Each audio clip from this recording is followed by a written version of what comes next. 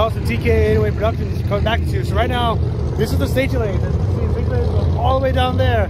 The burnout box. Turns that way and right onto the racetrack for the drag races. Looks like we got more cars coming in. You see Top Fuel's coming out right behind me. More awesome drag races coming on your way, guys.